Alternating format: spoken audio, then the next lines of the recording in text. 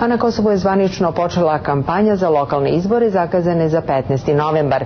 Reč je o prvom građanskom izjašnjavanju od kako su kosovske institucije u februaru prošle godine proglasile nezavisnost. Izveštava kolega Budimir Ničić. Za učešće na kosovskim lokalnim izborima prijavljene su 74 liste stranaka, koalicija i udruženja građana, među kojima je 21 srpska. Od srpskih partija aktivnu kampanju započeli su samo predstavnici samostalno-liberalne stranke i srpskog pokreta otpora. I jedni i drugi svoje predizborne skupove održali su u selu Dobrotin na centralnom Kosovu. Ja pokušavam da kažem da je između dva zla ipak manje zlo da se izađe jer će ova vlast, lokalna vlast i tekako postojati i ona će na terenu delovati, a ako tu vlast preuzmu oni koji su jednostavno plaćeni od centara moći, albanskih centara moći da vladaju ovom opštinom, onda je to prava katastrofa za naš narod. Kao i mnogi prethodni i ovi izbori podelili su Srbe na Kosovu na one koji su za učešće i one koji su protiv. Na izbor izlazimo zato što smo ovu šansu za lokalne izbore 15. novembra prepoznali kao šansu da možemo da se borimo za sebe unutar institucija Kosova, da možemo da organizujemo sebi život na najbolji mogući način, jer je činjenica da ovih 10 godina uslovi života nisu bili na zadovoljavajućem nivou. Srbi će svojim uč eventualnim učešćem na ovim izborima potvrditi e, nezavisnost takozvane Republike Kosovo.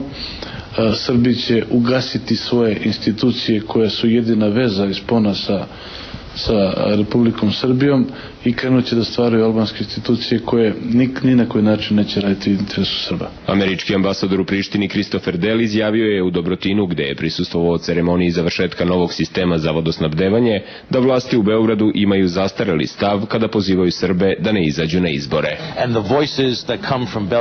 Urging... Glasovi koji dolaze iz Beograda i govore ljudima da ne izlaze na izbore su glasovi prošlosti, a ne budućnosti. Past, not the future. Većina albanskih partija kampanju je započela u Prištini. Predizborne skupove održali su Alijansa za budućnost Kosova i Demokratski savez Dardanije, koji nove izbore izlazi u koaliciji sa Alijansom za novo Kosovo. Očekujem demokratske, slobodne i fair izbore, jer su ovi prvi izbori u nezavisnom Kosovu.